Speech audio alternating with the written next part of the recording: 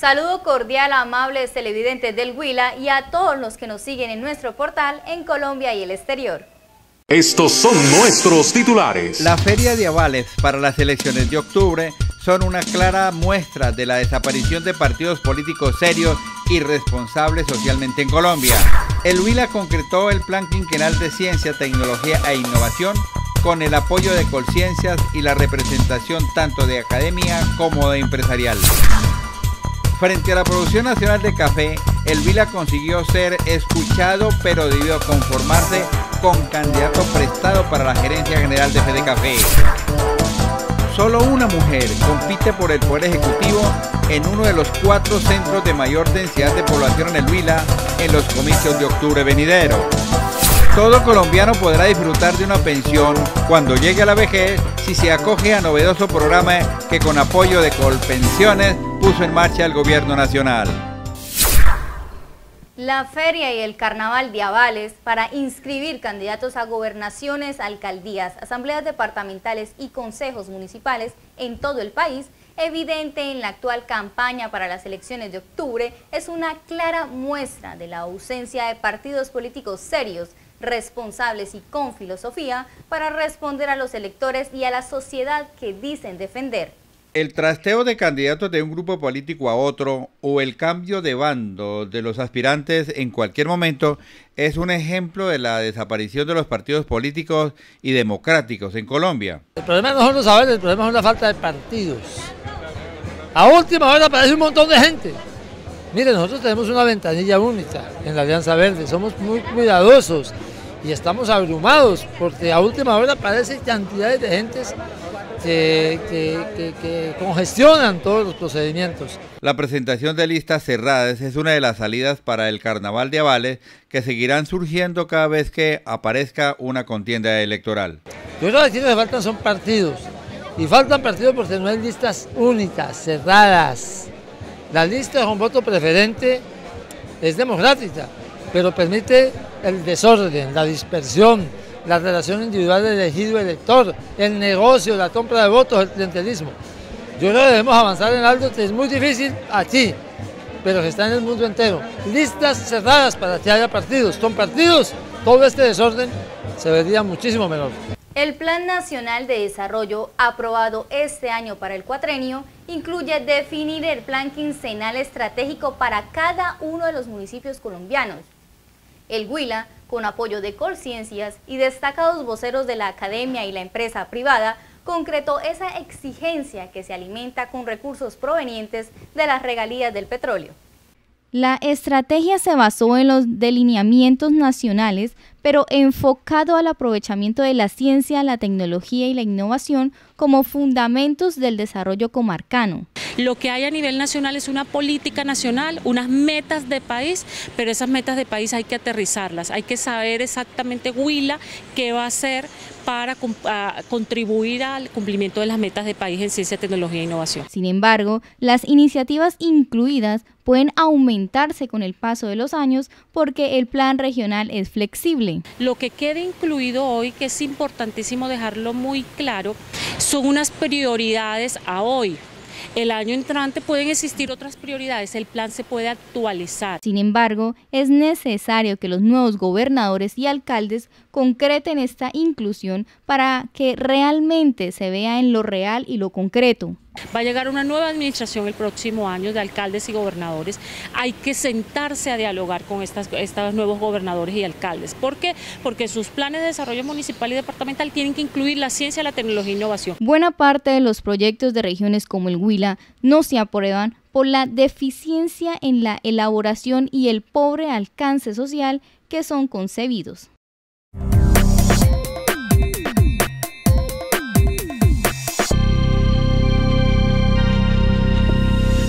Definir una política cafetera con los productores del grano, el criterio del aspirante a gerenciar la Federación Nacional de Cafeteros, Luis Guillermo Vélez, quien cuenta con respaldo de la delegación huilense en Fedecafé, porque sus rivales, candidatos con conocimiento y origen opita, fueron descabezados en la presentación por el peso de la poderosa representación del gobierno nacional.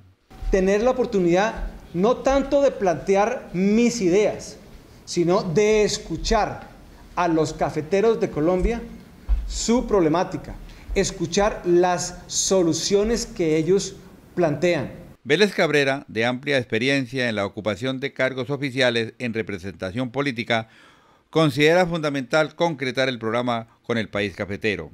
Construir conjuntamente con las bases cafeteras de Colombia las soluciones de los problemas del país cafetero. Sin embargo, condicionó esa participación del país cafetero a la realidad que vive el país. Las soluciones tienen que surgir de abajo hacia arriba y no de arriba hacia abajo como ha sido la tradición hasta ahora.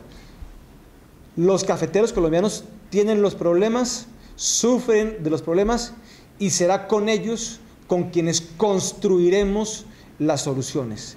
Soluciones que tienen que ser realistas, que tienen que ser eh, aplicables, que tienen que ser, por supuesto, sujetas a las realidades fiscales que vive el país. El delegado nacional del Huila ante Fede Café reconoció que en la disputa por presentar candidatos, el Huila logró cierta credibilidad nacional. Se ha ganado es mucho. Es la primera vez en la historia de la caficultura del país que hay un representante en la terna de origen huilense. Aunque Vélez Cabrera no es huilense 100%, por lo menos se inscribió por esta región del país. Y aquí consideramos que no hemos avanzado, pues eh, habría que mirar qué es no avanzar. Aquí lo que tenemos es que efectivamente no quedarnos acá, sino que unirnos, conseguir votos con otros departamentos para elegir a este señor Luis Guillermo Vélez Cabrera como gerente general de la Federación de Cafeteros de Colombia.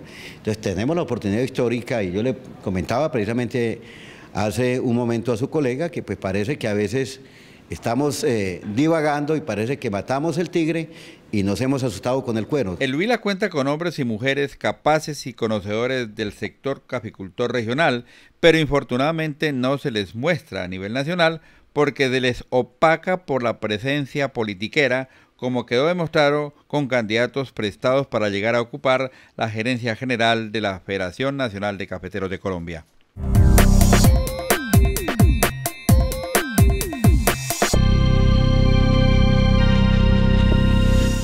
La Plata, principal municipio del occidente huilense, registra el aumento de población urbana más significativo del departamento por la presencia masiva de familias provenientes del oriente caucano y regiones circundantes, presionadas por fenómenos naturales, la confrontación armada y el propio aumento de la población existente que generaron un desordenado desarrollo ocupacional de suelos.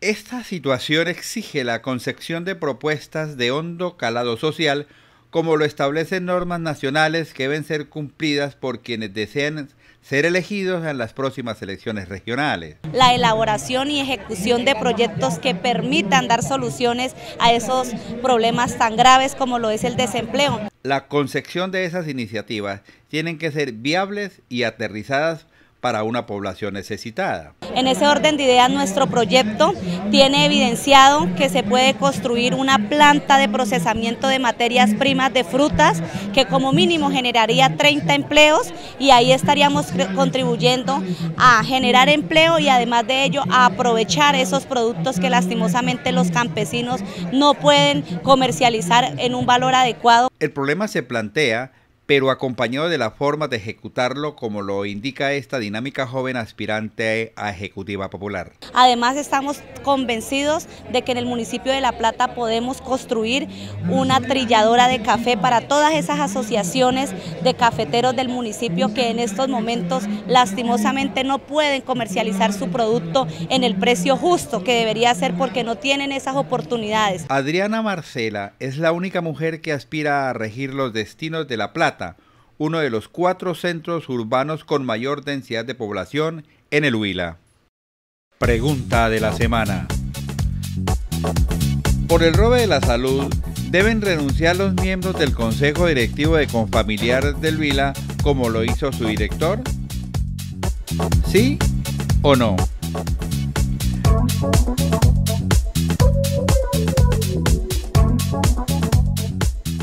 Los colombianos de los tres primeros estratos socioeconómicos que laboren o no tienen la posibilidad de disfrutar de una pensión o un recurso mensual, una vez lleguen a la vejez y no hayan podido cotizar para ingresar al régimen pensional existente en el país, si se acogen a los beneficios económicos periódicos que comenzaron a funcionar con el manejo de Colpensiones. El proyecto exige al futuro beneficiario colocar un pequeño ahorro en una cuenta especial que el gobierno aumentará en un 20% cada vez que haga el depósito. El empezar a crear una cuenta de ahorros que les permita tener eh, al final, si no tiene la posibilidad de tener una pensión, la posibilidad de tener un ingreso periódico que se le pague cada dos meses en el momento después de que cumple la edad de pensión, si no tiene la posibilidad de tenerla. El programa es para personas que no tienen un trabajo formal o dependiente de una empresa legalmente constituida. Es un programa complementario a la pensión porque cuando la persona está ahorrando o está trabajando formalmente, pues está ahorrando en pensiones. Pero cuando está tiene un trabajo informal y no está cotizando en pensiones, puede ahorrar en BEPS. El ahorro simultáneo para pensión es el único impedimento que tiene el futuro beneficiario del proyecto. Todas las personas que son del nivel 1, 2 y 3 del CISBEN pueden entrar al programa, pueden vincularse. Lo que no pueden hacer es ahorros simultáneos. ¿Qué quiero decir con esto? Si en un mes está trabajando y el, y el patrono le hace un, su aporte a pensiones, él no puede ahorrar en vez. Quienes deseen ingresar a los beneficios económicos periódicos pueden hacerlo en las oficinas instaladas tanto en Neiva como en Pitalito, en el departamento del Huila. Luego de breve pausa para mensajes especiales, informaremos sobre una mujer le disputa a los hombres la alcaldía de uno de los principales municipios del Huila. Falta apoyo estatal a proyectos de innovación agropecuaria.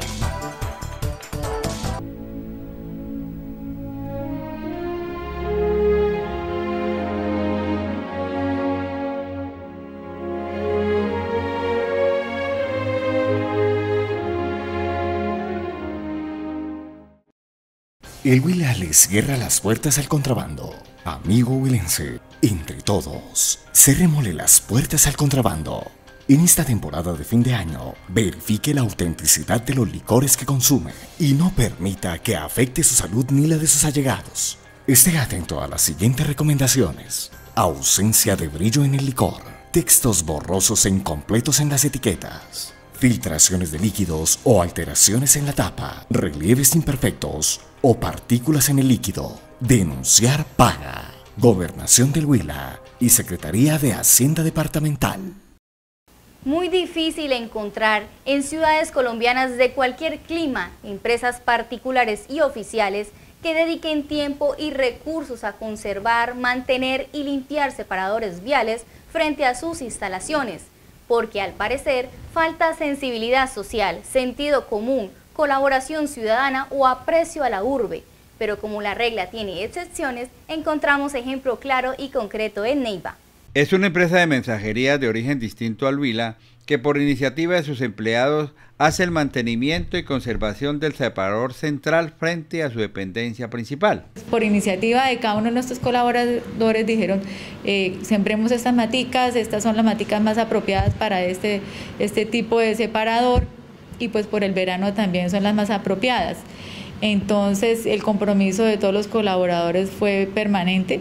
La empresa obviamente siempre nos apoyaba en la parte económica. La idea es conservar todo un parque, pero después de un año aún están esperando la respuesta de la administración municipal que no llega. Realmente es nuestra intención de apadrinar un parque adicional a este separador. Nosotros hicimos ese trámite con empresas públicas, estamos en espera de la respuesta por parte de este estamento. El dueño de todo el sector, al observar la iniciativa, propuso que envía haga la conservación de todo el separador de la carrera séptima sur. Se, hizo, nos hizo una propuesta por parte de él para nosotros trabajar todo el separador, desde la esquina hasta esta otra esquina, porque obviamente a él también le llamó la atención de que pues la única parte que estaba bonita, que está con todas sus maticas era la parte de nosotros de envía como tal. Interesante sería que otras empresas oficiales o privadas tomaran el ejemplo y comenzaran a realizar este tipo de apoyo a la ciudadanía y al municipio desde luego donde tienen su sede principal o la sucursal. Pregunta de la semana. Por el robe de la salud, deben renunciar los miembros del Consejo Directivo de Confamiliar del Vila como lo hizo su director? ¿Sí o no?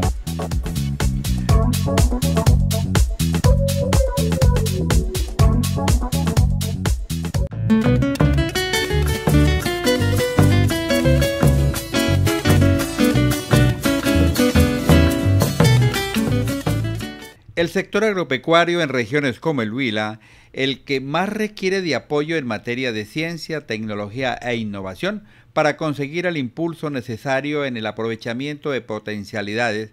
Sin embargo, las propuestas hechas desde áreas productivas, como la piscicultura por ejemplo, no han encontrado el eco requerido en las esferas oficiales para mirar la posibilidad de estructurar algunos proyectos que pueden ser de beneficio para el departamento. Eh, creemos que esto vaya a ser una realidad. Yo ya tuve la experiencia hace dos años de reunirme con Conciencias en el CIAT en Cali y ayer lo manifestábamos para crear la política pública de centros de desarrollo y a hoy, dos años después, no ha pasado absolutamente nada. La descentralización y apertura que generan actualmente Conciencias puede permitir esa atención solicitada. Llevamos como Centro de Desarrollo Tecnológico ocho años construyendo región y aportándole a todos los proyectos de ciencia, tecnología e innovación. Lo que pasa es que ahora que se hizo el tema de la distribución de las regalías, pues existen unos recursos más por los departamentos. Hemos eh, intentado presentar varios proyectos, gracias a Dios nos han aprobado dos, pero eh, las necesidades son apremiantes en los sectores, hablo de mi sector, el sector piscícola, pero quisiéramos que nos apoyaran con mucho más proyectos. Eso es lo que hemos querido dejar nuestra voz aquí en estas mesas de trabajo en Colciencias. Los focos generadores de recursos están claramente definidos y no deben interferirse mutuamente. Una cosa son los recursos de ciencia y tecnología que vienen desde el gobierno nacional a través de Colciencias y otro es el tema de ciencia y tecnología de los eh, departamentos a través de los fondos del Sistema General de Regalías. Son dos recursos. Esos esfuerzos regionales también reciben negativas que impiden alcanzar objetivos muy bien definidos. José Ignacio, tenemos un proyecto que presentamos el año pasado y está aprobado desde el 31 de mayo del 2014 a hoy no ha sido posible que lo contratemos eh, por una serie de cosas, que la interventoría, una serie de temas que vienen allí, para mirar y mitigar el efecto ambiental que se puede venir para el tema del llenado del Quimbo con referente a Betania. Ese proyecto tiene que ver con varios ejes temáticos y es mm, comprar unos eh, equipos que nos van a permitir medir unos eh, parámetros para alertas tempranas, un tema de capacitaciones, un tema ambiental, varios componentes que tiene el proyecto y que le estamos apostando a seguir trabajando eh, en ese sector que es el primer departamento productor y exportador de tilapia. En el área de la piscicultura, por ejemplo, se observa la migración de los productores a lagos en tierra, abandonando poco a poco la producción del lago de Betania o del futuro Quimbo.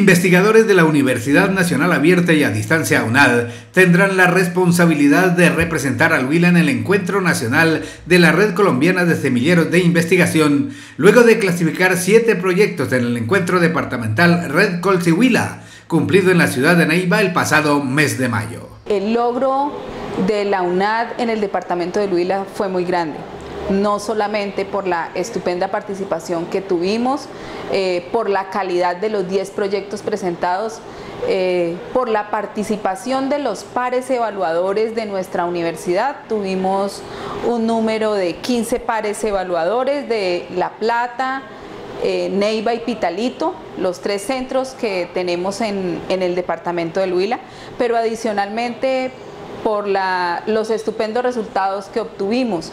De 10 proyectos presentados por la universidad, la totalidad tuvieron puntajes superiores a 70 y de esos 7 obtuvieron puntajes de más de 90 puntos, lo que los hace acreedores a representar al Departamento del Huila en el Encuentro Nacional de Investigación. Los proyectos de la UNAD destacaron por la pertinencia de las investigaciones con el proceso de desarrollo regional, la preservación del medio ambiente natural y las tecnologías puestas al servicio de las personas con capacidades especiales. Están dos proyectos que hacen evaluación de la calidad del suelo en cultivos de coffee, coffee arábiga, o sea, de café caturra que es un cultivo primordial para la economía del departamento del Huila y de nuestra nación. Igualmente, tenemos un par de evaluaciones orientadas a la conservación de las especies de roble blanco y roble negro, eh, que están en peligro de extinción. Y eh, también tenemos proyectos muy importantes como sistema de diagnóstico y predicción de la contaminación ambiental en la ciudad de Neiva, orientado por el profesor Pedro Torres. Eh, también otro eh, para contribuir al desempeño de las personas con limitaciones auditivas y un tercero que es un sistema para hacer reconocimiento de terreno por medio de un dron. Los investigadores de la UNAD en el Huila se preparan desde ya para su participación en Red Colsi Nacional 2015, donde esperan destacar con sus iniciativas. Eh, estos proyectos se someten a una evaluación de pares a nivel nacional e internacional y si pasan en este evento representarían a Colombia en eventos internacionales.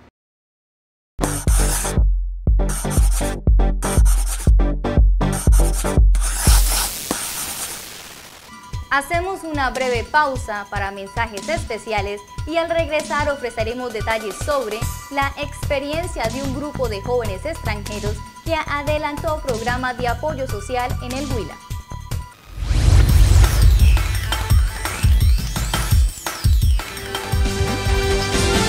Bienvenidos amables televidentes a una nueva entrega de TV Noticias donde les daremos a conocer los hechos más importantes ocurridos en el departamento del Huila. Estos son nuestros titulares. Amables televidentes, estamos con el presidente de la Asamblea Departamental, doctor Sergio Yunes.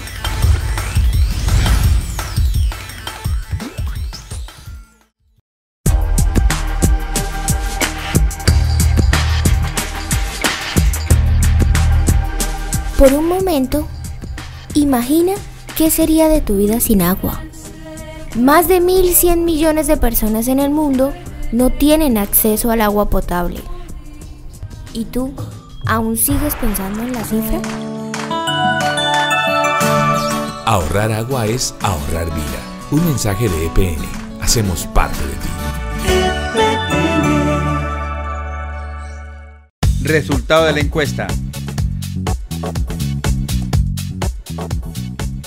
¿Nairo Quintana ganará el Tour de Francia este año? ¿Sí o no?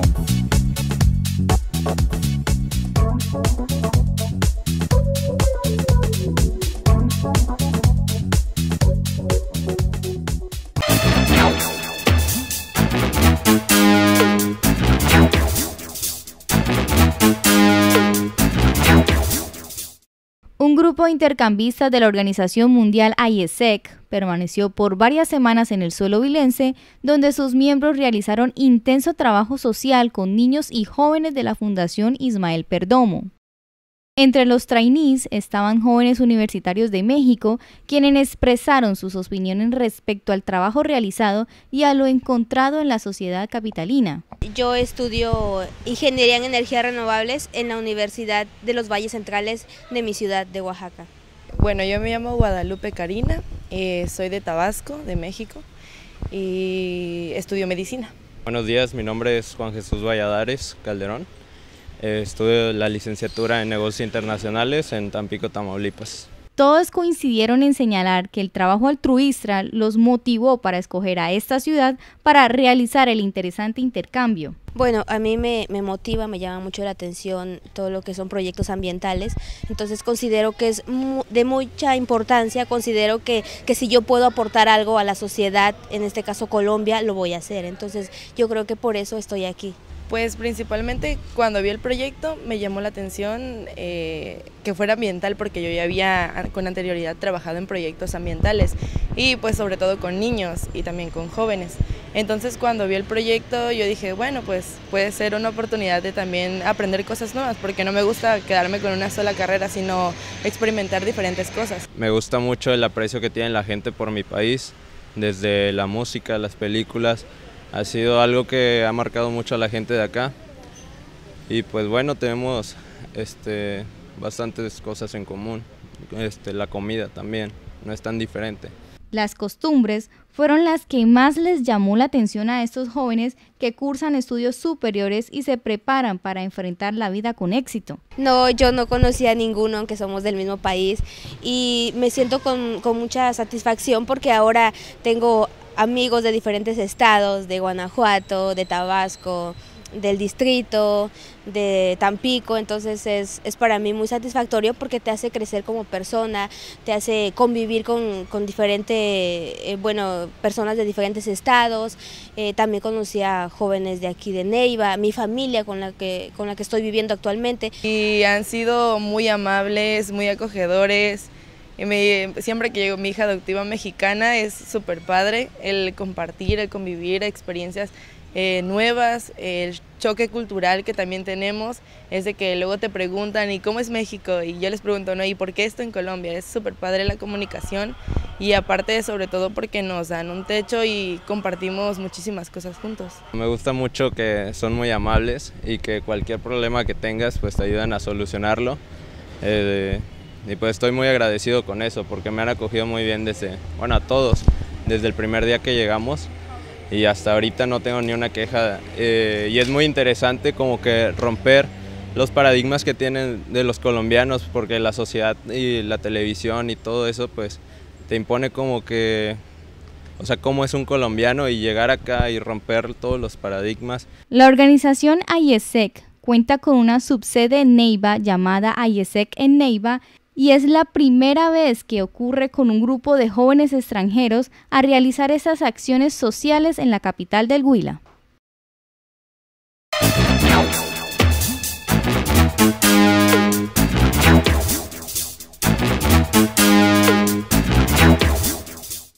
Antes de despedirnos les recuerdo que ustedes pueden seguirnos en el Facebook como TV Noticias o en el Twitter como arroba TV Noticias Col.